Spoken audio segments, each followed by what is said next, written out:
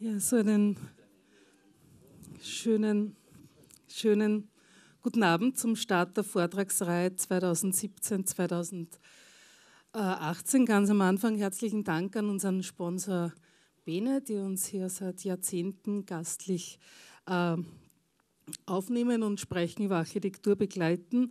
Äh, ja, die Antonia Raneburger sagt immer, die 13 Vorträge äh, wir haben immer einen Papst und zwölf Aposteln. Wir starten mit dem Papst in diese äh, Saison.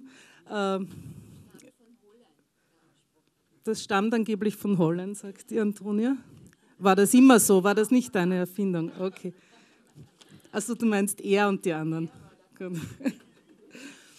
Ja, Wilhelm Holzbauer der einzige österreichische Architekt, dem es in der letzten Zeit gelungen ist, Großbauten als architektonische Konzeptionen zu bewältigen, äh, hat Friedrich Achleitner 1985 seinen früheren Schulkollegen an der Salzburger äh, Gewerbeschule äh, bezeichnet. Wilhelm Holzbauer zählt zu den bedeutendsten Architekten des Landes, hat mit seiner Meisterklasse an der Hochschule für angewandte Kunst über 20 Jahre lang die Architekturlehre entscheidend mitgeprägt. Viele Studenten äh, sind heute anwesend und er hat selbst als äh, Holzmeisterschüler schon vor der Diplomprüfung äh, zusammen mit Friedrich Kurrent, der heute auch da ist, Otto Leitner und Johannes Spalt die legendäre Arbeitsgruppe 4 äh, begründet. Er ist dann nach Amerika gegangen, um in äh, Cambridge zu studieren und hat danach Gastprofessuren an der University of Manitoba in Kanada und an der Yale University äh, absolviert, hat 64 sein Architekturbüro in Wien äh, gegründet, mit dem ihm dann 1967, 68, glaube ich, war das, 67 begonnen, 68 entschieden, äh, dank des Wettbewerbssiegs um den Bau des Amsterdamer Rathauses und der Oper dann schlussendlich auch der internationale Durchbruch gelang. Mit der Architektengruppe U-Bahn bis heute äh, aktiv zeichnete er ab 1970 für die Gestaltung von rund 40 Wiener U-Bahn-Stationen habe ich da stehen. Ich weiß nicht, ob da die allerneuesten schon 80. dabei sind. 80 schon. Dann ist das aber ein großer Fehler. Oder ein Tippfehler meinerseits. Entschuldigung. Äh, ja, unter den zahlreichen Realisierungen eines intensiven Architektenlebens finden sich Bauten jeglicher Kategorie und Dimension. Das Bildungshaus St. Virgil, wohlbekannt 1976, die Wohnanlage Wohnen Morgen in Wien äh, im 15. Bezirk, das Landhaus in Bregenz, das Technische Zentrum der Nationalbank und der Andromeda Tower bei den Wien, der Linzer Hauptbahnhof, der Umbau vom kleinen Festspielhaus, die St. Martinstherme in äh, Seewinkel. Es ist ein breites Aufgabenfeld. Und natürlich wurde diese Arbeit mit zahlreichen äh, Preisen äh, gewürdigt. Darunter, also ich zähle jetzt nicht einmal die Hälfte auf, der Preis der Stadt Wien für Architektur, das Goldene Ehrenzeichen für Verdienste um die Stadt Wien, äh, der Reynolds Memorial Award, die, der Ehrenring der Hauptstadt Salzburg, die Ehrenmitgliedschaft des American Institute of Architects, das große goldene Ehrenzeichen für Verdienste um die Republik Österreich, die Ehrenmitgliedschaft im BDA in Deutschland äh, und der große österreichische Staatspreis für Architektur. Seit 2001 wird das Büro mit den Partnern Fritz Kaufmann, Egon Thürmer und Wolfgang Wanig als Ziviltechnikergesellschaft Holzbau und Partner geführt. Äh, zu den aktuellsten äh, Projekten zählen die Unternehmenszentrale der Wiener Netze, eine Therme in Ungarn und ein Hoteltower am Wienerberg.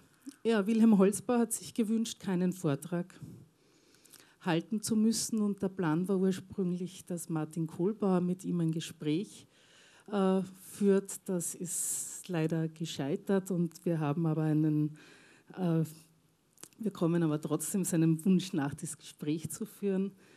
Äh, und die Gesprächspartnerin, nicht wie ursprünglich eingefädelt, Martin Kohlbauer, ist halt nicht minder prominent als Holzbauer und auch nicht minder erfolgreich ist Elke äh, Delogan Meißel. Äh, von Ende der 1980er Jahre bis Anfang der 1990er Mitarbeiterin im Atelier Holzbau und seit 1993 leitet sie mit Roman Delogan äh, das Büro Delogan Meißler und Roman Delogan ist Holzbauerschüler. Äh, mit ihm gemeinsam haben sie, dass sie mittlerweile auch den Staatspreis äh, bekommen haben und dass sie auch in Amsterdam sehr prominent äh, ein Zeichen gesetzt haben mit dem niederländischen Filminstitut. Die Elke Delogan hat gesagt, Wilhelm Holzbauer war ein großzügiger Chef, er hat sie auch ins kalte Wasser geschmissen. Ich darf jetzt dich und Sie, Herr Professor, bitten, vorn Platz zu nehmen. Dann reden wir worüber auch immer, bitte. Genau. So, wo nimmst du Platz? Wo willst du sitzen? Ich glaube, du sitzt in die Mitte, oder? Okay. Glaube ich.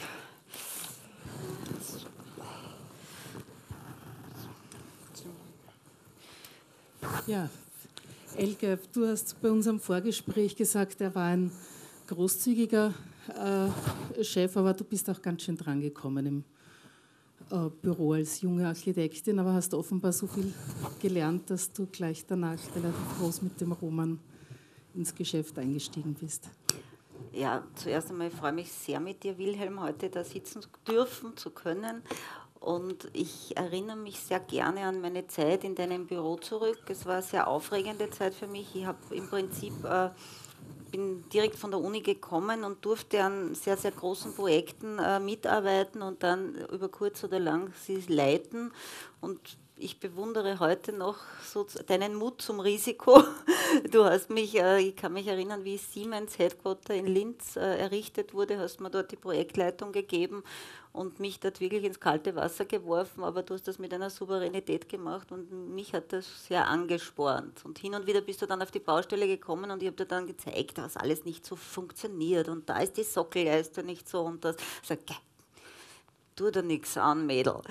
Das Große zählt und nicht die kleinen Dinge. Das Große muss stimmen und das stimmt. Und das war einfach so für mich eine auch eine sehr prägende Zeit. Eine Zeit, dass man, äh, ich habe sehr viel gelernt. Ich habe gelernt, ähm, auch ein Stück weit großzügig zu werden und zu sein und zu bleiben, hoffentlich. Und mich hat immer fasziniert an deiner Art, dass du sehr viel zugelassen hast, aber dann schon äh, bestimmte Regeln auch aufgestellt hast. Und das war für mich ein sehr, sehr prägender Moment, in deinem Atelier arbeiten zu dürfen. Und apropos, ich musste auch noch, Roman kann ja heute leider nicht da sein, wir haben schon gesprochen, ganz, ganz liebe Grüße ausrichten.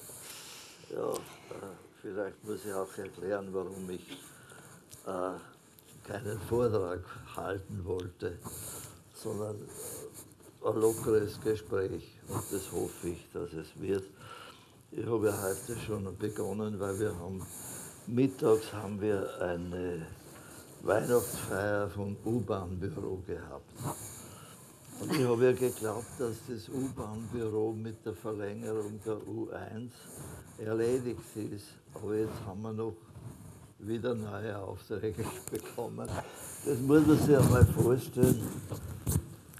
Was tut er denn da?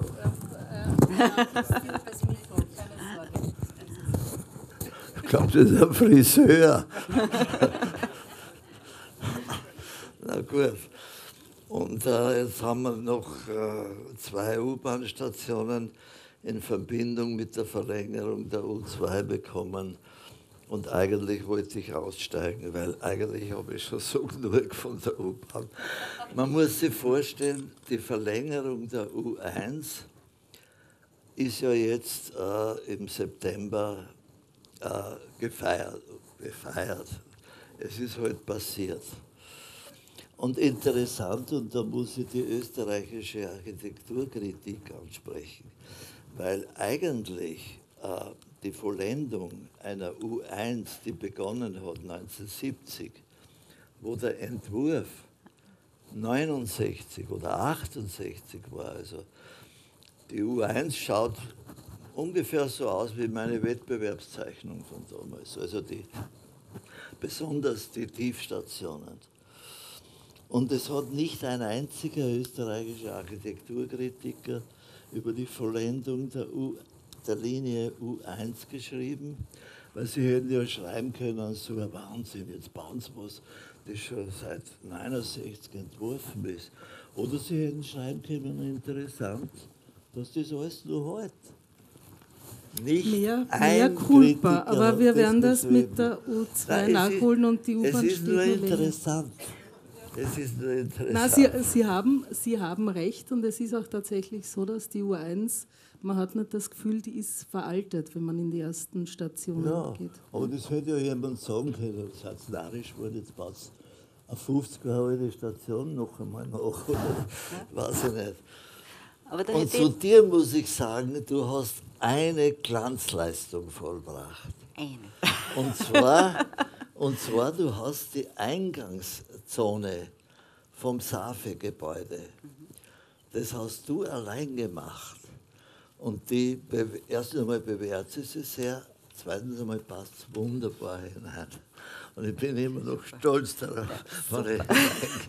das, freut, das freut mich also sehr. Zur, zur Erklärung, das SAFE-Gebäude Das freut mich sehr. Salzburg. Ja, das SAFE-Gebäude in Salzburg war dann mein zweites Projekt, was mir ja. Wilhelm äh, anvertraut hat. Das war schon noch ein bisschen größer wie die Siemens-Zentrale in Linz. Und da war ich schon ein bisschen erfahrener und ja, habe ja. mich schon ein bisschen besser bewegen können ja, auf dem Architekturpaket, keine Frage. Ich hätte jetzt eine Frage zu dieser Sache U-Bahn. Äh, es war da ja immer sehr wichtig, äh, deine, die Haltbarkeit deiner, deiner Entwürfe oder, oder die Haltbarkeit deiner Arbeiten, dass sie einen gewissen Bestand haben und auch in Schönheit altern können.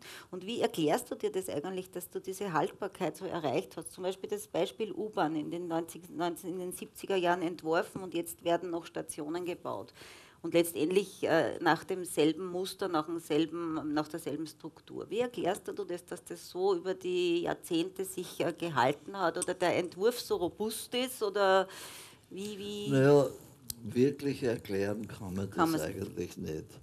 Äh, weil im Prozess dessen, was man, wenn man entwirft, zum Beispiel gerade bei der U-Bahn, es war ein Wettbewerb, man macht halt das, was man glaubt, das gut ist und das vielleicht gewinnt, weil die Hoffnung, dass man gewinnt und so. Und die Haltbarkeit ist eigentlich, äh, sagen wir, die Haltbarkeit der Idee. Der Idee, ja. Natürlich gehört auch die Haltbarkeit der Materialien hinein. Aber das Wesentliche ist die Haltbarkeit der Idee. Genau. Und die kann man eigentlich nicht bewusst machen. Mhm, mhm. Da hat man ein Glück. Da hat man ein Glück. Na, weil gerade in einer Zeit, wo so ein starker Wandel ist und wo sich so viel ändert ja. und so schnell ändert, ist es doch erstaunlich, dass so ein Infrastrukturbauwerk letztendlich über diese Jahrzehnte sich so hält. Auch ja. in der Funktionalität, in der Benutzung und dass eben diese, diese Kernelemente, die du damals die entwickelt habt, die Gruppe U-Bahn, dass das immer noch weiter äh, ja, realisiert wird. Ja, naja, wir sind ja jetzt äh, konfrontiert mit der, bei den Stationen Neubaugasse und Pilgramgasse. Das sind schwierige Stationen, weil äh, da jetzt drunter mit der U2 zu gehen, das ist technisch und verkehrstechnisch und äh, sagen wir auch von der Verteilung der Verkehrsmassen mhm. ist es relativ schwierig zu, zu lösen. Und was uns jetzt betrifft auch und mich besonders, äh, ist die Konfrontation mit dem Entwurf der U2. Äh, weil äh, da natürlich äh, rein vom Material her völlig andere Auffassungen sind und auch, äh, sagen wir mal, auch von der Geometrie her. Bei uns ist alles rund, bei der U2 ist alles so eckig es ist nie Roster und so. Und es ist ja interessant, dass wir zum Beispiel am Anfang bei der U1, wir haben mit der U1 begonnen, durfte man in Abstand, wo zwei Menschen sich berühren können, in diesem Bereich durfte man kein Metall verwenden. Das war damals so, äh, aus sicherheitstechnischen Gründen für Kriegsströme und weiß ich was. Und da sind wir auf dieses Material gekommen, das dann letztlich überall äh, gemacht wurde. Die U2 ist jetzt ein rostfre rostfreien Stahl und äh, es gibt dann abzuwägen, wo ich selber noch nicht weiß, wie das wirklich funktioniert, mit, äh, sagen wir mal, der Gestaltungsidee der U2 und der Gestaltungsidee der, Idee der U1 oder U3. Äh, zum Beispiel. aber spricht jetzt was dagegen, Ihr eigenes Ding zu machen? Ja, natürlich, weil, weil die Aufträge geteilt sind. Ich meine, das ist alles, äh, wenn man, es ist U-Bahn überhaupt ist ein wahnsinnig komplexes Ding, ein komplexes Ding. Und es ist auch vom Auft äh, von der Auftragssituation her, wer wofür zuständig ist, wer wofür einen Auftrag kriegt. Wo, wer, wer macht die Statik dann und so. Da gibt es ja unglaubliche Unterschiede manchmal. Äh, für manche Statiker geht das noch das andere geht nicht, er braucht einen Auf Aussteifungshorizont und er braucht das und so. Es ist eine schwierige Geschichte, aber. Aber du bist immer noch dabei es, im U-Bahn-Bau. Also ich, bin, ich bin eigentlich mehr als, sagen wir mal, als, äh, als Ratgeber dabei und nicht mehr so in dem Sinne, äh, weil sehr viel ist eigentlich da. Und nachdem irgendwo auch, das hat auch die Gemeinde Wien entschieden, äh, dass die U1 unverändert weitergebaut werden soll, weil wenn es nicht so wäre, hätten sie einen Wettbewerb machen müssen mhm. für die Südstrecke. Und es gibt nichts Ärgeres für einen Beamten der Stadt Wien wie ein Wettbewerb. Also, Okay. Das, das, ist ja ein, ein, es ist ja ein pragmatischer Zugang. Ich habe den Eindruck, Sie sind doch auch Pragmatiker, oder? Also ich habe so mich immer als Pragmatiker bezeichnet. Ja. Das stimmt, ja. Aber da hätte ich jetzt anschließend eine äh, Frage oder wie du das siehst. Ich habe das, hab das gelesen über dich, ich werde es kurz zitieren. Der Rudolf Burger, der ja auch ja, Rektor auf der ja. Angewandten war, der hat das damit deine Architektur so äh, charakterisiert. Also der Ausdruck der Architektur von Wilhelm Holzbauer ist sensible Strenge und archaische Wucht. Sie ist nicht exaltiert oder aufgeregt, sondern kultiviert, eine urbane Gelassenheit. Man könnte den Ansatz auch klassisch nennen. Bist du mit dieser Charakterisierung einverstanden? Oder? Völlig recht. es ist ja ein Kompliment. Ja, na, ich frage dich, na, bist du da einverstanden? Ja, ja, natürlich. Das, äh, ja. ja, bist du einverstanden? Ich mein, was, was Und, ja, aber du, hast, du giltst ja immer als so intuitiver, schneller Entwerfer und bist äh, immer bei den oder folgst bei deinen oder bist bei deinen Entwürfen immer deinen inneren, der inneren, einem inneren Bild gefolgt. Ja? Und äh, hast du dich dann auch immer bei den ganzen Entwürfen tatsächlich auf das Gespür verlassen können?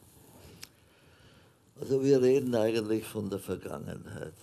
Ja, aber es ist irgendwo. Ich habe hab eigentlich mit der Architektur nichts mehr zu tun. Außer das, wozu ich noch gezwungen werde, wie bei der U-Bahn.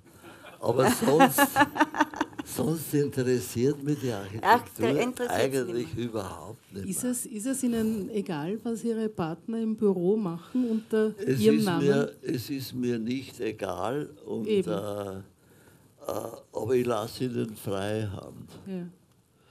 Und wenn einmal wirklich was passieren würde, man, es sind, zwei sind Schüler von mir, einer ist ein Schüler von Beichel und ich habe mir damals, wie ich äh, die Partnerschaft begonnen habe, haben sie auch begonnen, selbstständig zu arbeiten. Am Anfang habe ich noch sehr viel reingeredet.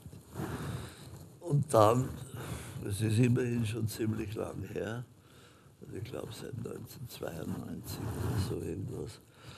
Und dann schon langsam habe ich mir gedacht, ja, was soll ich?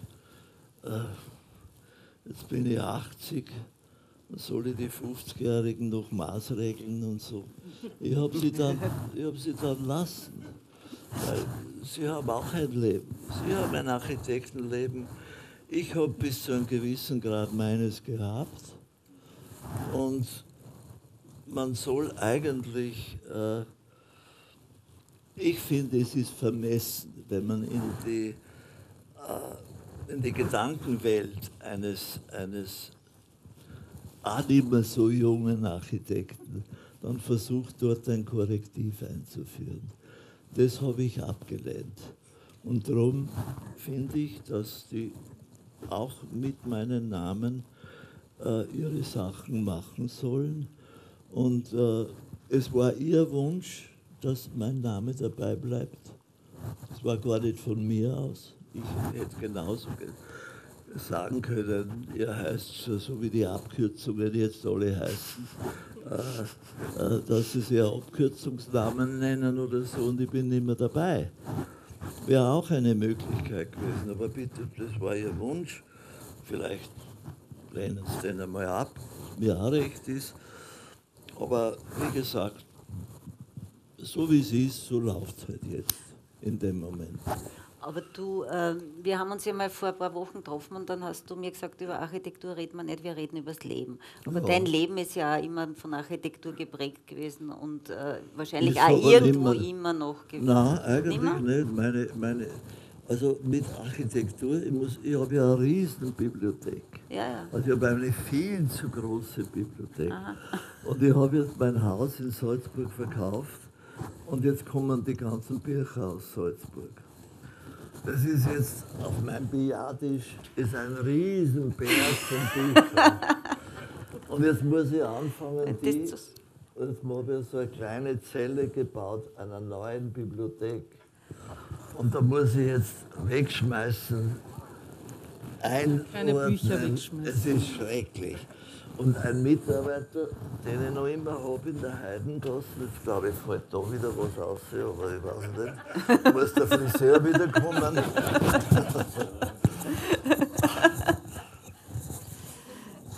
Bewege ich mich zu viel, oder? Nein, nein. Nicht. Zu jung. Nein, die Haare lang. Alles gut. Gut.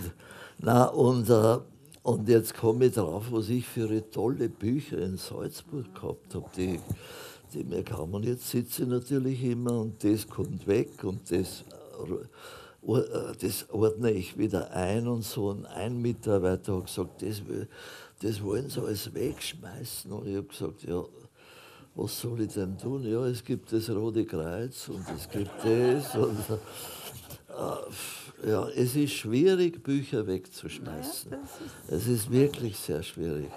Aber ich, ich bin wirklich, äh, ich lese unglaublich viel.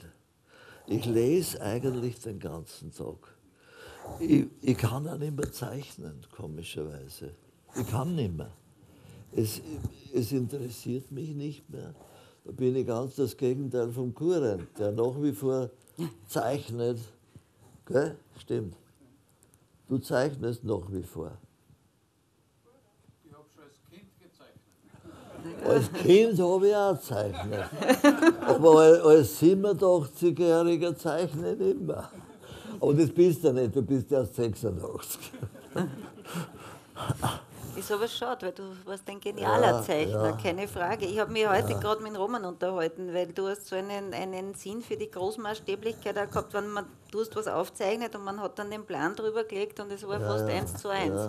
Also das war schon sehr faszinierend. Aber schon, man äh, muss auch im Alter, das Alter muss auch irgendwo Richtungen äh, ändern. Mhm. Was soll ich zeichnen? Es ist viel interessanter, dass ich jetzt wirklich Muse und Zeit habe, meine ganze Riesenbibliothek aufzuarbeiten. Weil ich habe diese Bibliothek, ich habe in jeder Stadt, wo ich gelebt habe, ob das Boston war, Chicago, äh, auch New York, da habe ich nicht gelebt, aber meine Buchhandlungen habe ich gehabt, Amsterdam, äh, äh ich habe äh, London, ich habe so viele Bücher aus all diesen Bibli äh, Buchhändlern. Und, und jetzt ist es eine unglaubliche Masse und ich kann mich trotzdem nicht trennen. Ich finde das schön. In einer digitalen meine, Welt, wo man alles Ich gehe durch die Bibliothek und habe so viele Bücher, die ich noch nicht, noch nicht einmal richtig genossen habe. Und ich bin eigentlich hauptprofessionell bin ich Leser gut. nicht mehr. Ich würde würd sagen, es gibt nichts Schöneres. Ich habe irgendwo gelesen, Sie wollten schon als Volksschulkind Architekt werden? Ja, Gab es da irgendeinen Anlass dazu? Oder Nein, irgendeinen- eigentlich nicht. Äh, Das war irgend- irgendeine Idee und dass ich dann Architekt geworden bin, äh, das war gegen den Wunsch meines Vaters. Mein Vater war Lokführer.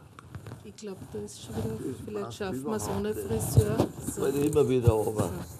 Ob das meine Haare sind oder Die so- was weiß ich nicht. so- Oder was ist, wenn ich laut rede und, und das Zeug nicht habe. Oder wir machen es mit Das Mai fühle ich aber. So, Vielleicht geht das sogar. Mikro. Naja, jedenfalls äh, habe ich äh, zwischen der Gewerbeschule in Salzburg und äh, der späteren Akademie äh, habe ich äh, äh, beim Stadtkinobau in Salzburg war ich die rechte Hand vom Bauleiter und äh, das war Mayräder und Kraus und mein Vater war völlig dagegen, dass ich äh, aus Salzburg weggehe. Und jetzt hast du so einen tollen Job bei Mayräder und Kraus, das ist eine große Firma und Ding. Und dann bin ich äh, trotzdem dann nach Wien gegangen, äh, in die Holzmeisterschule. Und das war mit dem Achleitner. Und dann haben wir uns in der Klasse getroffen, das eh alles bekannt ist, was dann entstanden ist. Aber es war auch jetzt schon so, dass ich aus irgendeinem Grund, den ich nicht weiß, wollte ich Architekt werden. Und Ihr Vater hat sich mit dem Gedanken dann auch angefreundet. Äh, Hat, das, hat er das noch erlebt, dass Sie so Nein, mein, erfolgreich mein waren? Vater, äh, den habe ich dann eingeladen, wie ich dann das Haus in Amsterdam gehabt habe. Und er ist gekommen nach Amsterdam mit seinem alten Peugeot, den ich, auch ich ihm geschenkt habe. Ist er nach Amsterdam gekommen und er war so servil. Er war mir viel zu servil, weil er gemerkt hat, er war halt falsch. Aber gut, das sind so Geschichten, die jeder Mensch in seinem Leben hat und da mu- muss man auch nicht so viel dran denken. Aber ich komm, möchte gerne zu einem anderen Thema kommen. Du willst ja nicht so gerne über die Architektur an sich reden, aber es gibt einen Bereich in deinem Leben, äh, der durchaus sehr prägend war, nicht nur wahrscheinlich für dich, sondern auch für viele Generationen, die gekommen sind. Das heißt, du hast über 20 Jahre als Lehrer auf der Angewandten gewirkt, warst da Rektor und hast ja eine oder nicht eine, sondern ich denke mehrere Architektengenerationen als Lehrer begleitet. Und wenn man sich so umhört, ich habe bei dir nicht studiert, aber wie wir alle wissen, Roman, und äh, sind ja einige äh, Studenten auch heute da. Äh, du, du hast dich sehr ausgezeichnet durch, deinen, äh, durch deine Großzügigkeit. Ich habe Großzügigkeit halt schon erwähnt, und zwar Großzügigkeit äh, in den Zugängen. Du hast sie lassen, deine Studenten, sie haben sich nur, sie haben, glaube ich, ihre, ihre Konzepte immer äh, erklären müssen, sie haben, sie haben dahinter stehen müssen, aber es war nicht so, dass du sie in deiner Architektursprache, in deine Architektursprache gedrängt hättest. Ja. Und das hat natürlich schon eine wahnsinnige Qualität, wenn man sich die Schulen auch anschaut und auch heute anschaut. Und ich denke mal, da sind äh, Leute rausgekommen mit ganz unterschiedlichen Architektursprachen und haben wirklich äh, sehr, sehr viele ihren Weg gemacht. Und ich will jetzt nicht die ganzen Namen nennen, wir kennen sehr viele davon. Und das ist, was ich finde, was in deinem Werk nie diskutiert wird. Ich meine, dieses Prägende für Architektengenerationen. Und das finde ich ganz großartig. Und wenn man mit deinen Schülern redet, dann sagen sie immer, egal wer es ist, Wilhelm, oh jetzt.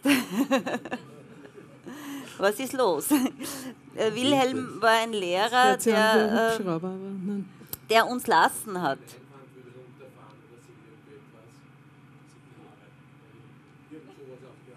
Was, was fährt er her? Was er herunter? Das ist die Technik der heutigen Zeit. Schau. Wir haben gedacht, wir haben Aha. alles im Griff. Na, aber lass mich da weiterführen. Ich glaube, das war, ist schon was, was äh, fast einzigartig ist, dass man schon äh, eine sehr starke Architektursprache selber hat, als Architekt, als ausführende, bauender Architekt, aber seine Schüler dann doch letztendlich ihre Persönlichkeit entwickeln lässt und ihr Potenzial entwickeln lässt. Ja. Wie, wie, was sagst du dazu? Du, du Na, das, äh, das, das war vom Anbeginn meiner Lehrtätigkeit, war die Idee, äh, oder das, das war für mich selbstverständlich, dass man bei einem Projekt, das ein, ein Student bringt oder so, schaut, wo ist das Potenzial? Wo kann ich ihm helfen auf dem Weg, den er glaubt? Und dass man nicht umgekehrt sagt, also das muss völlig anders ausschauen, weil ich finde das einfach äh, nicht die richtige Richtung oder so, sondern dass man entdeckt, was will er eigentlich. Mhm. Und dass man ihm auf der Suche des Gedankens, dass man ihm entlang hilft und dass man aus dem herausschält, was, was er dann wirklich als Produkt herauskriegt. Das war eigentlich immer meine Idee von, von Lehrtätigkeit. Und das ist eigentlich, glaube ich, auch in anderen Wissenschaften, ist es, ist es gang und gäbe. Nur in der Architekturlehre war, war das manchmal so, dass halt so Schülerchen rausgekommen sind. Das hat es oft gegeben. Und, äh, und das ist aber eigentlich äh, äh nicht der wirklich essentielle äh, Sinn einer Lehrtätigkeit, sondern man muss dem helfen, seine Idee, seine Idee zu verwirklichen. Nicht, dass vom Lehrer eine Idee kommt, die der dann, wo er nichts anfangen kann damit und so. Nicht? Aber du bist also ja speziell auf der Angewandten einer der wenigen gewesen, die ja. so einen Weg beschritten haben, ja, das muss man ja, ja sagen. Also muss man dann auch mit, wie soll ich sagen, sozusagen sein, sein Leben als Architekt, seinen Egoismus, sein Selbstverständnis, seine Zugänge auch ablegen und als Lehrer sozusagen dann auch anders, anders agieren? Also braucht es da eine gewisse Na, Fähigkeit, um, um überhaupt so weit zu kommen und jetzt nicht kleine Holzbauers in ihrem Fall Na, heranzuziehen? Ich, ich, glaube, man muss die, seine eigene Tätigkeit als Architekt völlig trennen von der Lehrtätigkeit. Ja weil äh, das sind zwei Dinge, die nicht ineinander hineinrinnen dürfen, sozusagen, sondern äh, das eine ist, äh, die Lehrtätigkeit ist in einem gewissen Sinn eine, eine, eine, eine psychologische äh, äh, Herausforderung, äh, während das, was man selber macht, das muss man sowieso mit sich selber ausmachen. Da braucht dann niemand, da ist niemand anderer da. Während in der Lehrtätigkeit ist der andere da, mit seinen eigenen Gedanken, mit seinen eigenen Ideen. Und die, die habe ich immer empfunden, die muss man entdecken. Es sind ja, ich meine, wir haben ja so unglaublich verschiedene Leute gehabt. Wenn, ja, ich, nur, wenn ich nur denke an den, an den Inder, der, äh, der, der mit dem Geschäft in der Ding, der hat da. Äh, äh, ich, ich weiß es nicht. Ah du warst doch nicht einmal in der Schule. der Schule. Du warst doch nicht in der Schule, sie war nur im Büro. Eben. Aber ich kenne einige. ja, ja, ja. Aber es hat, es hat so, so viele verschiedene Typen gegeben und äh, jeder hat eine andere Entwicklung auch genommen. Wobei man nicht übersehen darf, dass natürlich äh, nicht mehr als die Hälfte überhaupt in dem Beruf dann äh, geblieben sind. Das, muss man ja auch anerkennen. Und davon wieder nicht allzu viele aber so bekannt worden sind oder berühmt wie du worden Nein, nein, bist. das stimmt ja. nicht. Es sind sehr viele von deiner Klasse, das ist nicht ja, richtig. Es ist, äh ja. Das stimmt nicht. Also von 100 Absolventen, yes, wir haben in der Publikation 42, die jetzt bauen, Eben. sind. Ja. Genau. Die anderen sitzen aber in anderen, zum Beispiel in den Ministerien. Also mit also zum Beispiel die, die, die Bauer, die hat jetzt eigentlich das neue Parlament äh, gestaltet, nicht? Also in der Hochschule. Ja, die Dini Bauer zum Beispiel, die ist auch also der, der Manikas ist ja mein, mein, mein Gewissen und mein. Äh, ja, ja. Er hat ja auch viel mehr Zeichnungen von mir, wie ich selber habe.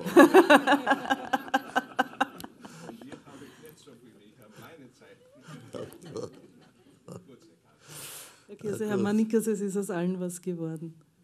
Es ist aus allen Holzbauschülern was geworden. 90 Prozent meiner Meinung nach was geworden. Vielleicht nicht nur als Top-Architekten oder wie man sagt heute Star, den,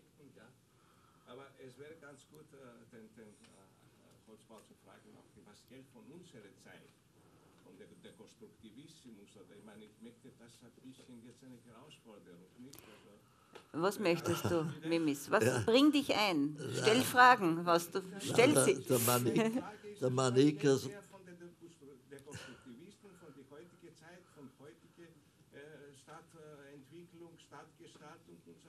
Das wäre jetzt meine nächste Frage gewesen. Na, nicht über Na, die der Manikas möchte ja, dass ich eine Philippika reite gegen den Dekonstruktivismus. Ja, da kriegen Sie dann gleich Gelegenheit. Ich wollte nur sagen, Sie sind natürlich alle herzlich eingeladen, auch mitzudiskutieren und genau. Fragen zu stellen, ja. wenn wir Nein, ich wollte da eh anschließen, aber nicht weiß, an einen Dekonstruktivismus, sondern du hast ja mal gesagt, es gibt keinen Städtebau mehr für dich. Ja. Es werden nur mehr Ikonen, äh, also Selbstverwirklichungen hingestellt. Und ähm, wie siehst du das jetzt zum Beispiel? Weil äh, ich bringe das ein bisschen in Zusammenhang mit diesem äh, Turn in der Architektur, soziale Architektur. Architektur soll nicht mehr sichtbar sein. Das ist jetzt meine, meine Interpretation. Architektur darf sowieso nichts kosten. Und ich sehe das aber schon äh, sehr schwierig, weil ich glaube, unser Beruf wird dadurch äh, marginalisiert oder wegrationalisiert über lang oder kurz oder kurz oder lang.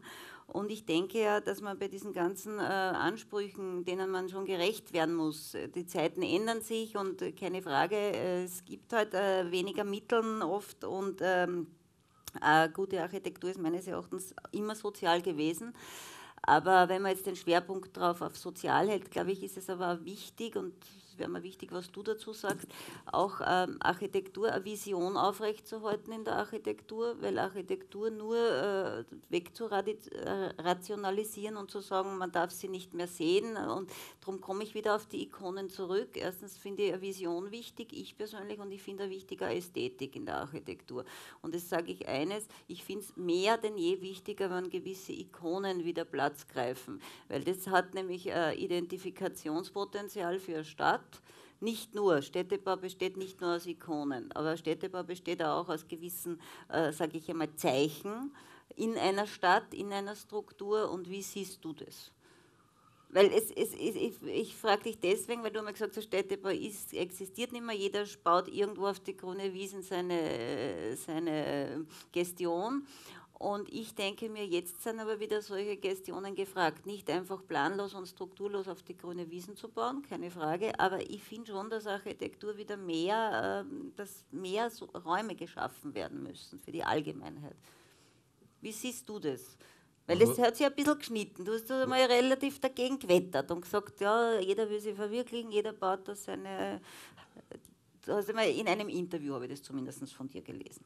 Du bist kein Freund von der Sarah Hadid gewesen, das ist egal. Ich finde, die Sprache ist jetzt wurscht. Die Sprache ist egal, wie, die, wie jetzt das äußere Erscheinungsbild ist. Es geht einfach um den Raum.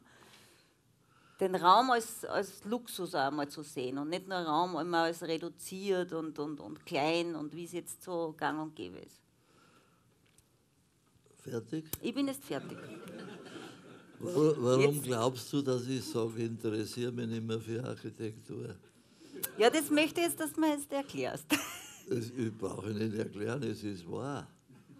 Es, es, interessiert mich so im täglichen Leben überhaupt Aha. nicht mehr. Die können, ich meine, ich, ich bin dann, ich habe zum Beispiel, ich meine, ich schaue schon, was, was so passiert. Und in der letzten Zeit finde ich nur ein Gebäude, das ich wirklich genial finde. Das ist die neue Louvre in Abu Dhabi. Das ist wirklich toll, eine tolle Architektur, toller Gedanke dieses Zeltes mit dem Licht äh, äh, äh, auf, auf, auf, auf dieses Dorf und wie das im Wasser steht während zum Beispiel die hochgelobten Elbphilharmonie, das ist meiner Eracht, meines Erachtens als, als, als Konzertsaal ein völliges Unding. Äh, für mich ist er furchtbar. Und, äh, und was ist eigentlich dort dieser Glaskasten auf einen, auf einen Ziegelkasten, der halt ein komisches Dach hat. Und was da so in die Höhe gelobt wird, oder ja, ich meine, ich muss ehrlich sagen, und das ist eigentlich furchtbar, was ich da sage, ich habe mich fast gefreut, wie es die Zahadid nicht mehr gegeben hat. Ja, das ist. Das ist ich habe mir gedacht, jetzt kannst du nichts mehr bauen. Naja, Wilhelm. Ja, das, ich weiß, das, ist, das sagt man nicht. Nein, nein, ich glaube, da können wir das es, war, äh, es ist dieser ganze Zirkus mit, den, mit dem, was du meinst, mit diesen Zeichensätzen. Mein Gott, was haben wir denn schon im Vergleich zu den großen Architekturen der, der Geschichte? Was haben wir denn da wirklich? Naja, Zeichen ja. hast du ja gesetzt. Du hast ja Ikonen naja, letztendlich doch, geschaffen. Amsterdam. Ja, gut, das ist ja, ja das, das ist ja auch alles alle, auch kritisiert das worden, Das ist doch oder? alles nicht vergleichbar. Ich meine, äh, äh, naja, was ein Palladio oder, ein, ein, ein, oder die gotischen Baumeister und alles, das haben wir doch Würsteln dagegen. Das muss man doch einmal sagen. Das ist. Äh, ja, da geben wir jetzt kurz einmal ihm recht.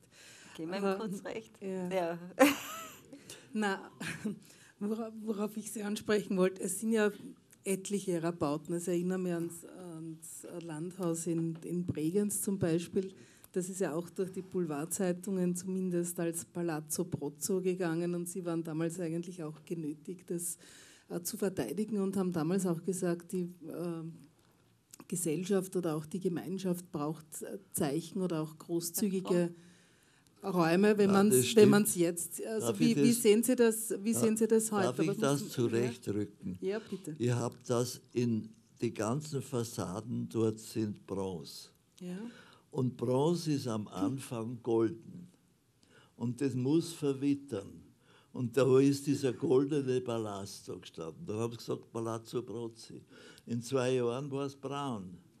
Also, ich weiß nicht, da war ich relativ unberührt darüber, weil ich mhm. gewusst habe, dass das ein, ein momentaner Zustand ist. Ich glaube nicht, dass ohne diesen Goldcharakter der, der, der Fassaden gesagt hätten Palazzo Brozzi. Aber das ist logisch, Gold ist, mhm. ist Brotz. Und äh, ich weiß nicht, ob es. Gut, wurde auch relativ bald, kamen ja dann auch die besseren Kritiken. Und ja, na, ja, natürlich, weil, äh, weil, dann ist halt, dann ist halt wirklich Bronze worden. Mhm. Ja.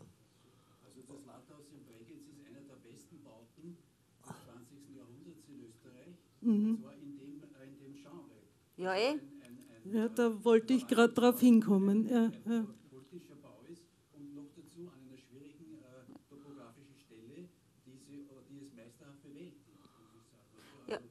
Aber, Na, aber äh, das ich habe mich auch sehr gefreut, Herr Kapfinger, wie Sie mir das einmal in einem Brief ge gesagt haben. Ja, aber auf das wollte ich Danke. ja darauf hinaus. Äh, der Wilhelm sagt einerseits, ich, ich, finde, das ist ja letztendlich auch eine Ikone, wie man Ikonen. Äh, na, für mich schon. Nein, das ist keine Ikone, weil er keine Ikone machen wollte. Naja. Er hat eine Aufgabe oder er hat einen, einen Topos und aus dem schafft er Raum. Und Ikone ist, das ist keine Ikone. Ja. Hätte ich auch nie so gesehen, ja. Das ist, das ist, das ist also ein feiner Unterschied. Naja, das ist immer die Sache, wie man das sieht. Für mich ist eine Ikone aber was, was eine Zeichenhaftigkeit letztendlich hat und es hat dort in seiner, Red naja, er hat ja mit dem Kontext gearbeitet, keine Frage, es ist alles räumliche Qualität, ich will ja gar nicht, will ja schon auf das drauf hin hinaus. Nur für mich ist es ja auch sowas, das ist ein, ein Bau, der steht dort, der ist selbstverständlich, aber es hat trotzdem ein Zeichen, ist ein Zeichen für aber mich. Aber Elke, entschuldige, dass ich, dass ich Es ist schon ein Zeichen. Na, ja, warum ist ein Zeichen na, schlecht? Es, es, ich, warum ist es schlecht? Ich kann mir das nicht vorstellen, dass ihr irgendjemand anfängt, äh, ich kann mir vorstellen, dass es solche Leute gibt, aber das sind meines Erachtens Idioten die sagen, ich will jetzt eine Ikone bauen. Nein, nicht, das, das, das geht ja, nicht. Ich glaube, wenn du eine Ikone bauen willst, dann wirst du sie eh nie bauen. Ja. Für mich ist es, für mich ist das Ganze ein, toll gelungene, kontextuale Bau, ein kontextualer Bau, der letztendlich ein Zeichen setzt. Das, so kann man es ja stehen lassen. Und das ist vielleicht in der Terminologie Ikone, nicht Ikone, aber das ist, ich habe das nicht gemeint, dass das jetzt äh, wer von, dass du von äh, vornherein gesagt hast, ich will jetzt dort die Ikone hinsetzen oder, de, oder den Palazzo Prozzo oder wie du das nennen willst. Und, und du meinst, gemeint, dass es auch die Jahrzehnte war, Ganz genau, und, und, und dass es Bestand hat und dass man solche Räume braucht, auf das wollte ich darauf hinaus, weil wahrscheinlich habe ich mich falsch ausgedrückt, das tut, tut es mir sehr leid. Nein. Und um das geht es nämlich auch. Und das war meine Frage, ob das nicht der Städtebau heutzutage auch braucht. Eben.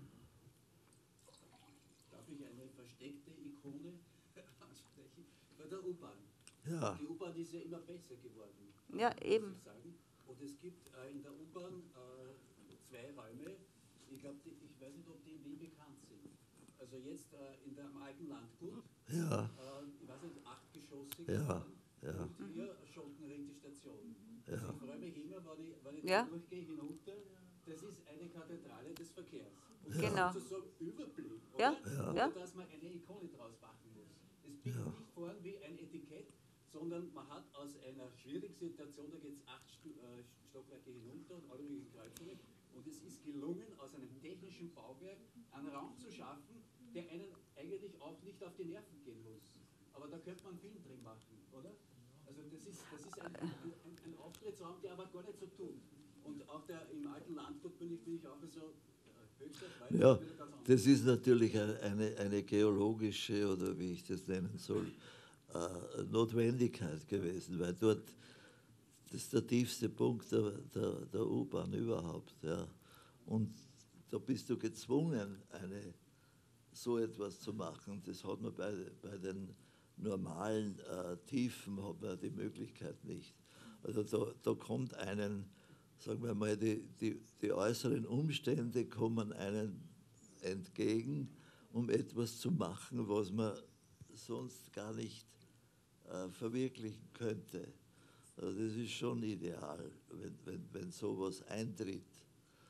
Und äh, in dem Fall war es halt so. Das ist, ja, aber ja. das zeichnet ja dein Werk schon aus, dass du sehr mit dem Raum umgegangen dass du sehr viel mit so Raumskulpturen fast gemacht hast, äh, mit den Räumen, die ineinander greifen. Ja, War die Universität in Salzburg letztendlich auch mit diesem ganzen Erschließungssystem hinten, mit diesen äh, sehr, sehr hohen Luftraum ist ja letztendlich auch, hat ja eine riesen Raumqualität mit dem Innen-Außen-Bezug, mit der Verklausung. Das ist, man muss ja denken, es ist ja sehr, sehr viele Jahre schon her, dass das realisiert worden ist. 86 und ist die fertig geworden. Und auf das ja. wollte ich auch hinaus. Fälschlicherweise der Ikonenbegriff, der noch ein bisschen länger diskutiert werden müsste. Ich sehe ihn ein bisschen anders als ihr, aber gut. Ähm, ich meine eben, dass das ja eine Qualität und einen Bestand auch hat. Und dass wir das mehr denn je brauchen in, in uns in der Architektur. Werk ist eigentlich das Ikonenhafte mehr da, wenn ich ans Porsche Museum denke zum Beispiel. Äh, das sind Aufgaben, die sich auch mehr zur Ikone neigen. Das ist auch zum Beispiel bei, bei dem Gegenspiel äh, des Mercedes-Museum von dem Holländer wie heißt das? Wen van Berkel. Vom, ja, eben. Das, das ist auch eine Ikone in dem Sinn. Das hängt aber auch mit dem schon den Ikonenhaften des Produktes zusammen. Du meinst des Inhaltes, was das dann ist, weil Porsche oder Mercedes. Porsche, Mercedes. Das Brand ist es eigentlich. Ist aber, letzt, aber, letztendlich, ja, aber letztendlich war da natürlich. habt ihr gut reagiert.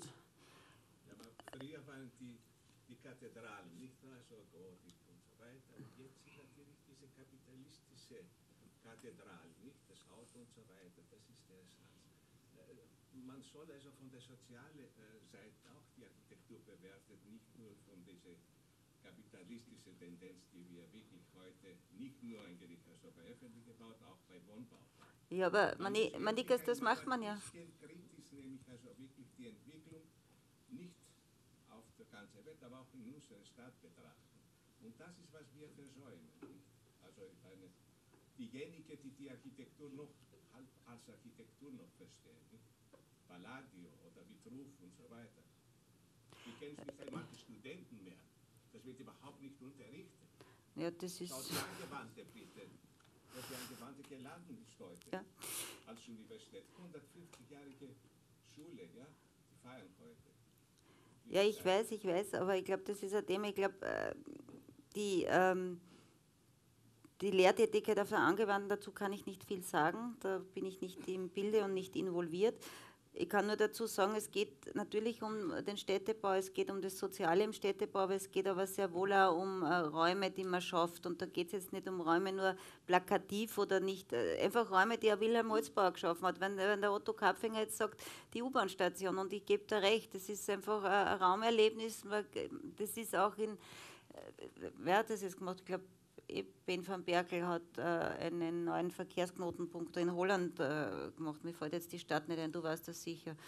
Und in Arnheim, den Bahnhof. In Arnheim, ja. Und da, das ist ja ähnlicher, ich will das jetzt nicht den Ben van Berkel mit Wilhelm vergleichen, aber von, es ist auch ein anderes Erscheinungsbild, aber der hat auch versucht, so einen Verkehrsknotenpunkt, die verschiedenen Mobilitäten äh, in einen Raum, äh, in Räume umzusetzen. Und das ist schon was, was faszinierend ist. Und das hast du. Ja, aber das hast du. Nee, aber es gelingt nicht jedem auf ja. die Art und Weise. Und das ist natürlich schon eine, Geschichte gewesen, wieder, die du sehr gut im Griff gehabt hast. Auch maßstäblich, den großen Maßstab, die Räume, die Verbindung der Räume und dann letztendlich auch die Qualität. Aber das sind lauter Dinge, die du, wenn du beginnst zu entwerfen an einem Projekt, an das denkst nicht. An, die, an diese Konsequenzen denkst nicht. Du willst ein schönes Projekt machen. Ja. Und was dann daraus wird, das. Ja, darum habe ich dich einmal am Anfang gefragt, ob dein Gespür, ob du dich auf dein Gespür verlassen hast können. Es ja. war ja nicht unberechtigt oder ja. nicht unbewusst, dass ich dich gefragt habe, genau nach diesen, hat dich das, äh, und das, du bestätigst mir das ja, jetzt, eine halbe Stunde später. Natürlich. Dein Gespür hat dich nicht verlassen, sozusagen. Ja, ja. Ohne Gespür geht es nicht. Genau, so ist es hätten Sie eigentlich gern mehr Geschosswohnungsbau gemacht? Also ich denke, es ist jetzt das Wohnen morgen im 15. Bezirk, ist ja schon einer der sehr wichtigen Wohnbauten in dieser Stadt. Ja, und wenn ich dann so Ihr Werk auch so der, der jüngeren Vergangenheit oder auch des Büros oder Ihrer Nachfolger im Büro durchgehe, sind interessanterweise nach wie vor Einfamilienhäuser oder Villen dabei. Aber kaum oder gar kein Geschosswohnungsbau. Wie, ja, wie kam ich, das? Weil, weil ich, weil ich nie ja einen Auftrag gekriegt habe. Ich habe einen Auftrag gehabt von der Gewista damals im Prater. Da habe ich mein, mein altes Gesieber. Thema von drei, drei gleichen Gesieber. Bauten hintereinander. Äh, und dann haben sie gesagt, sie bauen es nicht, weil sie bauen dort irgendwas anderes. Also, ich finde ja überhaupt, meine besten Projekte sind nicht gebaut. Was ist das? Barcelona. Ja, ja, mhm. Barcelona. Ja, was waren genau, das wollte ich äh, äh, Hamburg, der Kehrwiederspitz und äh, ja, auch, das ist eh nie gebaut worden, da habe ich den vierten Preis gehabt für die Pahlavi Library in, in Teheran. Mhm. Das war ein schönes Projekt, finde ich, und andere auch. Aber äh, um Barcelona tut es mir richtig leid. Das waren das wär, wär drei schön. Gebäude, glaube ich, an dieser ja, großen Avenida, drei, oder? Das waren an der Avenida Diagonal. Äh, mhm, äh, waren das, das drei äh, markante Gebäude und dahinter war ein, ein, ein Plaza Major eigentlich, also so ein Dings und, und, und mit, mit dem, ja, so halt der, sein Haus dort hinbaut. Und, äh,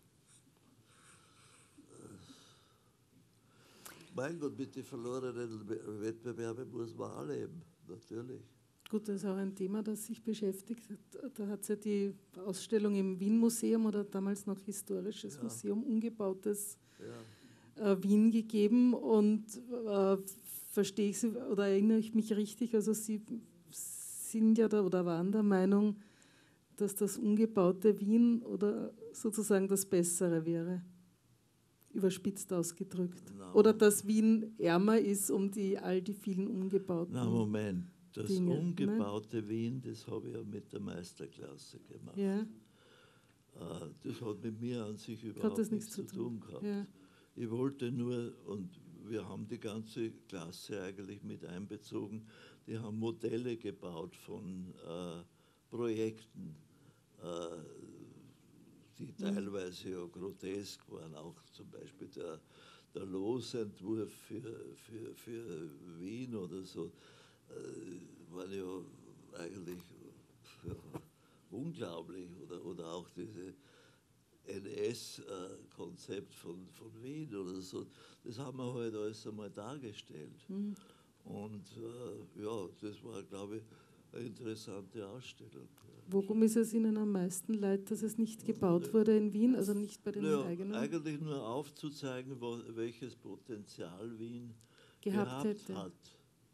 Und äh, eigentlich kommentarlos fast. Es war eigentlich eine Darlegung, was alles äh, in Wien entstehen hätte können. Und es ist ja interessant, zum Beispiel, wenn man nur vergleicht den Wettbewerb für die Ringstraße, nicht? der letztlich dann eigentlich ganz was anderes geworden ist, als überhaupt in irgendeinem Entwurf so mhm. war. Äh, auch der Försterentwurf ist ja nicht so gebaut worden, wie er das vorgehabt hat. Und die Möglichkeiten, die waren einfach äh, für mich sehr interessant. Und da war natürlich die, die Klasse als äh, als Kraft, äh, die, die halt dann wirklich, das war ja interessant, wie sie die Modelle alle gebaut haben. Und, äh, äh, und die sind ja selber, die Studenten sind ja selber draufgekommen dann, was für Geschichte Wien auf der einen Seite gehabt hat, hat oder hatte, hätte haben können. Ja. Also ich habe eine Frage noch Du warst ja immer an neuen Aufgabenstellungen interessiert, hast aber mal geäußert, du würdest doch äh, ganz gern noch einmal die gleichen machen äh, oder wiederholen. Hast du mal in einem Interview gesagt oder habe ich das jetzt falsch interpretiert? Und was wäre das zum Beispiel gewesen? Du hast irgendwann mal gesagt, ich würde das schon gerne noch einmal machen. Naja, äh, ich glaube, ich habe schon äh, ein Glück gehabt, dass ich so eine, eine verschiedenartige Aufgaben, so mhm. verschiedenartige Aufgaben von der U-Bahn-Station bis zur Oper und, und, und äh, ein kleines Hochhaus. Und äh, äh, dass ich so verschiedenartige äh, Aufgaben mhm. gekriegt habe mhm. und nicht nur, was ich. Ich stelle mir es furchtbar vor, ein, ein Dasein als Architekt, der nur ja. Wohnhäuser baut oder was nicht was. Also vom Einfamilienhaus über die U-Bahn bis zur Oper und bis, zur, bis Bregenz und so. Also das war für mich, äh, habe ich schon das Gefühl, dass das ein Glück war. Also ein total breites Spektrum abgedeckt. Ja, ja, das hast du ja. aber, glaube ich, deinen Schülern auch ein bisschen so mitgegeben. Ja, ja. wir haben auch immer wir haben ja, äh, ich glaube, ganz interessante Aufgabenstellungen immer gehabt. Und Häusern für per Peripathetiker und Häuser für, für einen Schinkel und was ich. Also das, ja, ich habe nämlich damals geglaubt, für die, für die Studenten, die kommen, die sind ja teilweise von Gymnasien kommen und teilweise von Gewerbeschulen. Mhm. Und da habe ich mir gedacht, ich muss Aufgaben für die ersten Stellen, wo es keinen Vorteil gibt, wo es eigentlich nur auf die Fantasie ja. ankommt und auf die, auf die Schöpfungsmöglichkeiten. Mhm. Und darum waren das diese komischen äh, äh, Häuser, die wir immer gehabt haben am Anfang. Äh, und äh, ich glaube, das war ganz gut. Bist du noch ein bisschen involviert? Du sagst, du bist ja mit Architektur nicht mehr so auf Du und Du, aber hast du in der Lehre oder auf den Hochschulen, weißt du da noch ein bisschen was, was so vor sich geht und was denkst Nein. du darüber? Gar nichts mehr. Also die Frage Nein, also braucht man da gerade, gar nicht stellen. Gerade was die Angewandte betrifft, ist sie mir Eben. so entfernt, ja. dass ich eigentlich nichts mehr zu tun haben will damit. Mhm. Gibt es in deinem ganzen Werk so ein bestimmtes Schlüsselprojekt, wo du gesagt hast, das ist das Projekt, äh, das hat mich irgendwie weitergebracht oder da, da hat sich mein Weg dann in eine andere Richtung äh, bewegt oder gibt es da was oder ist das immer so sehr kontinuierlich gegangen? Also das ich breite glaub, Spektrum haben wir jetzt man, Das kann man selber schwer beurteilen. Gibt es nicht das irgendwo was, wo du sagst, da ist, Nein. gibt es nicht? Nein. Ich zum Beispiel kann äh, bei uns es ist schon so- sagen, da gibt es schon so alles, einige. Es ist, wenn man, wenn man, wenn man voll im Beruf äh, ist und wenn man den Beruf äh, gern hat und so, dann ist es so im, im Fluss, dass man gar nicht denkt, dann, äh, das ist mein Lieblingsprojekt Mhm, oder so. immer oder so. Es ist schwierig. Nein, mein so ein es ist überhaupt war das schwierig, sich selber zu beurteilen. Nein, nein, das, Das ist ist schon das klar. Schwierigste. Das ist schon klar. Ja. Aber es gibt so Projekte, oder zumindest ich habe das so empfunden, wo man so sagt, da, da hat sich wieder was aufgetan. Erstens bei, sich, bei einem selbst, aber auch in dem ganzen Prozess da, des Weiterkommens oder des, das hast du nicht so empfunden. Okay. Was, was war bei dir so was? Elke? Naja, bei uns war schon der, der Dachaufbau eigentlich so ein Schlüsselprojekt. Und ich habe ja gestern, war ich bei dem äh, Geburtstag. Dachaufbau, ja, und das war da letztens bei einem Vortrag wieder von Wolf Brix, da ist auch für ihn ist dieser Dachaufbau auch so ein Schlüsselprojekt. Darum wollte ich dir mal fragen, weil für mich ist das irgendwie sehr interessant, wie, wie man das so sieht, auch äh, so retrospektiv in seinem Werk. Aber wenn das nicht ist, ist auch, man kann das auch so stehen lassen. Und mich hätte es nur Es interessiert, war, ob es da Sankt, es gibt. war Sankt Virgil. Eben, das wollte ich ja sagen, Virgil. Ich habe das zuerst eben, Sankt Virgil war das. das wollte eben, das wollte du nicht in den Mund legen, aber ich habe schon angefangen. Vielleicht So, fällt es dir mit 87 dann auch nicht gleich ein. Vielleicht siehst du es mit 87 Wieder danach anders, anders. oder? Ja, na, sicherlich. Jeder, na, natürlich, sie- ich nehme an, ich sehe es anders dann. Hoffentlich. Aber gibt es irgendeine Bauaufgabe, wo Sie jetzt im Nachhinein sentimental sind und sagen, mein Gott, das hätte ich auch noch gern gebaut? Ich, ich wüsste jetzt nicht, was es sein könnte. No, ich hätte ein paar gern gebaut, ich hätte Barcelona gern gebaut. Ja, also schon die, aber Aber jetzt eine, eine nein, Bauaufgabe, nicht, zu der Sie nein, nie nein, überhaupt ins Planen Nein, gekommen sind, gibt es nicht. Eigentlich nicht. Ich bin auch zu weit weg davon. Indem ich mich nämlich wirklich seit ein, zwei Jahren praktisch von der Architekturentwicklung fernhalte. Aus Selbstschutz oder weil Sie es nicht mehr interessiert? Nein, was, was mich nicht mehr interessiert.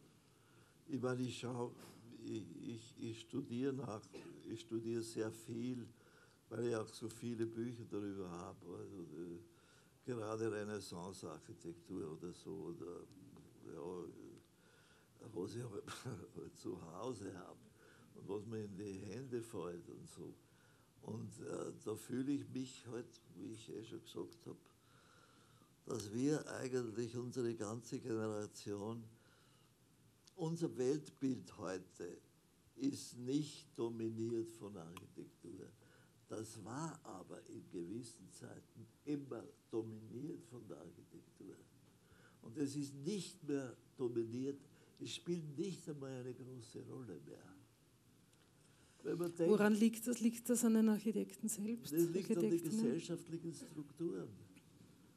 Und äh, es ist halt ein Unterschied, ob ein, ein Herrscher ein Schloss bauen will oder, oder ein Pompidou, ein, ein, ein Museum. Okay, äh, er hat seinen Willen auch durchgesetzt, aber es hat, es hat doch nie diese äh, gesellschaftlich relevante Bedeutung, wie die früher gehabt haben mit ihrer Architektur. Die Architektur war alles. Das war, das war die, die Umwelt. Natürlich, dass es nur einen, einen relativ kleinen Bevölkerungskreis betroffen hat, das ist klar. Weil die armen Leute haben halt das Schloss gesehen und haben gesagt, ja, okay, hat er wieder ein Schloss gebaut. Aber, aber, die, aber die haben, die Architektur war substanziell an der Spitze. Heute ist, was ich, die Astronauten oder der Mondflug oder, oder die, jetzt die, die Google und das Zeug alles oder so. Das sind, äh, das sind ja lauter Sachen, die nichts wirklich Produktives schaffen. Was, was, was ist der Twitter oder der Google oder so? Was schafft das? Null. Äh, Es woran- ruiniert die Leute. Aber woran liegt es, dass in so einer weil Gesellschaft so wie der heutigen- Sind, weil die Leute so dumm sind. Ja, dann müssen wir Naja. sie klüger machen, oder? Ja, aber ich meine, wir haben ja trotzdem, wir leben ja trotzdem in gewissen äh, Strukturen und so. Das ist ja damals wie heute. Das hat sich hat geändert, das Erscheinungsbild hat sich geändert. Ja. Aber warum, ähm, die, die Frage, was. Sagen, weil ich eine völlig andere äh, Generation bin. Und Mikrofon vielleicht. Mikrofon. Ach so, Nein, ja, ich weiß nicht. Äh, hört man nicht? doch. Rede nicht eh laut genug. Mir kommt es vor, aber bitte. äh, na, also, äh, das ist, glaube ich, was ich gemeint habe, ist, dass unsere Zeit andere Werte hat als in der Vergangenheit. Weil eigentlich war die Architektur oder das Bauen war immer an erster Stelle. Ob das jetzt in Athen des Perikles war oder ob das in, was ich, in Persien war. Alles, es war alles Architektur. Wa- wa- wa- Warum wird jetzt über, jetzt, jetzt denken die, die äh, Juden nach, einen neuen Tempel zu bauen. Also das, äh, was, was der Tempel für Bedeutung gehabt hat damals dass er nicht mehr da ist, hat er genau dieselbe hohe Bedeutung.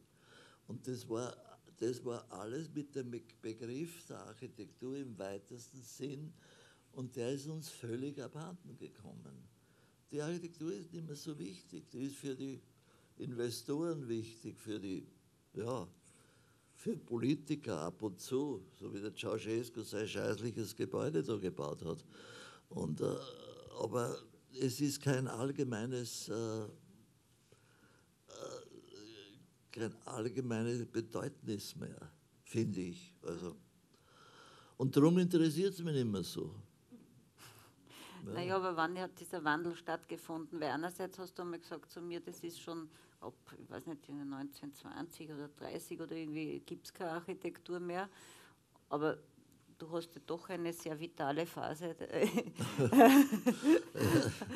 wenn wie sie sagt, deines Schaffens äh, miterlebt und auch geprägt. Und ich meine, wann hat es jetzt so total aufgehört? Weil ich meine, dann wäre ja, so- deine ganze so Sache. So sehe ich es ja gar nicht, dass ich irgendwas geprägt habe. Oder Doch, so. ich finde schon. Ja, also ich finde nicht nur ich, es finden auch.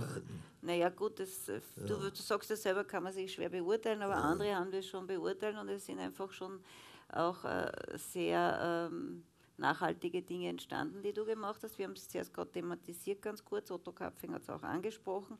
Aber wo, wo war dann dieser Turn plötzlich? Weil du hast ja auch in einer Zeit gewirkt oder dein, dein Atelier gehabt, wo du auch sehr mit einer Passion an die Architektur rangegangen bist. Das kannst du jetzt nicht verleugnen. Nein, schau, jede Zeit hat ihren Schwerpunkt. Zum Beispiel die zweite Hälfte des 19. Jahrhunderts, was da alles entstanden ist. Da ist das Auto entstanden, da ist das Dampfmaschine entstanden, da ist das, letztlich das Flugzeug entstanden. Was ist jetzt entstanden? Ich sage nicht, dass wir schlechter sind, sondern, sondern dass der Schwerpunkt woanders liegt. Äh, Der Schwerpunkt ist jetzt im Konsum, weil letztlich sind diese ganzen äh, Twitter, Google und so weiter, das ist alles Konsumware. Und die, die Kinder, ja, die wachsen halt auf in dem. Ja gut, das sind schlussendlich auch Veränderungen, die die Welt verändern und Ja, prägen, ähnlich wie die Dampfmaschinen. Und da spielt Vielleicht erkennen wir es noch die nicht, wie wir es richtig keine so eine Rolle mehr. Glaube ich. äh. Darum lese ich so viel. Ist ja auch gut so. Sie haben zum, zum 80. Geburtstag im Kurier gesagt, auf die Frage, denken Sie manchmal ans Aufhören? Und damals haben Sie gesagt, nein, ich wüsste nicht, was Sie dann täten. Also anscheinend wissen Sie es jetzt Ja, doch ganz weiß gut. Jetzt lesen Sie. Ab ungefähr meinem 83. Lebensjahr weiß ich es, glaube ich, 83 oder 84. Das war, ich weiß nehmen nicht mehr warum. Äh, Ich weiß nicht mehr, warum das so war, aber plötzlich habe ich gesehen, da ist nichts mehr drinnen in der Architektur. Äh, Jeder, will den anderen übertrumpfen mit noch mehr Originalität und noch mehr Dings und äh, was ich. Und aber, das, wo führt das hin? Das Aber fällt es vielleicht hin. auch leichter aufzuhören, wenn man sagt, man blickt jetzt doch auf ein erfülltes Architektenleben und auf ein reiches Werk zurück und wäre es vielleicht was anderes, wenn sie nicht halb so viel gebaut hätten und sagen, mein Gott, das muss ich noch und das muss ich noch. Nein. Herr Kurenz, Wissen Sie, dass ich, hat das, damit, dass hat das ich- damit zu tun, wenn man mehr gebaut hat, hört man leichter auf, als wenn man weniger gebaut hat? das weiß ich nicht, weil ich, ich, ich habe nicht wenig gebaut.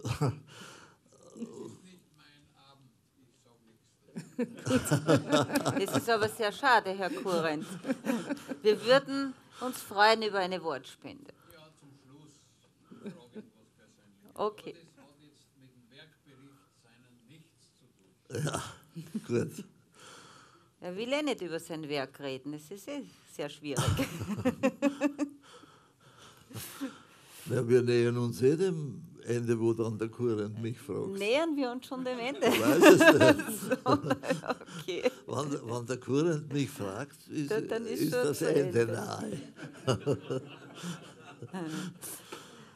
Ja, na, aber ich denke, also das wollte ich schon anbringen, ähm, dass, sie, und, dass Sie auch meinen, dass die Bauherren abhanden gekommen sind, mit denen Sie auf Augenhöhe was entwickeln können. Ja, äh, also mit Bauherren, das ist schon äh, sehr. Zum Beispiel, mein liebster Bauherr war der, der Landesstatthalter Mandl in Vorarlberg. Den wäre das nie entstanden.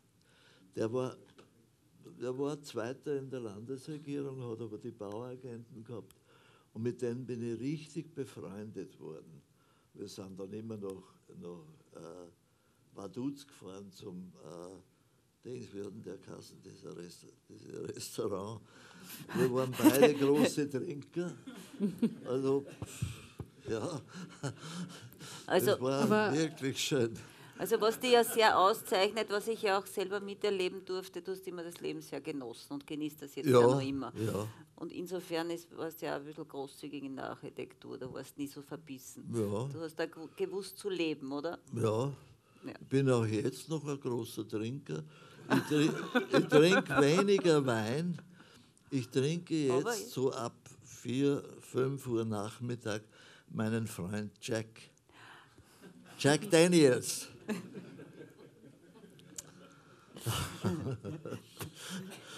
Und äh, Wein trinke ich eher noch mittags und äh, so. äh, im Sommer trinke ich ein Glas Champagner in der Früh. Das muss ich ehrlich zugeben. Und solange ich mir es leisten kann, also eine Flaschen dauert allerdings drei oder vier Tage, muss ich schon sagen. Weil ich nur in der Früh trinke. Champagner meine ich. Champagner. Also das kam aber dann im höheren Alter mit dem Champagner, weil dann würde ich sagen, dann nehmen wir uns das mit auf den Weg, Ja, es ist äh, gut. dass sich auch das Belebt den Trinkverhalten dem. Lebensalter anpassen muss. genau. Das nehmen wir heute mit, oder? Das nehmen wir heute mit. Gut.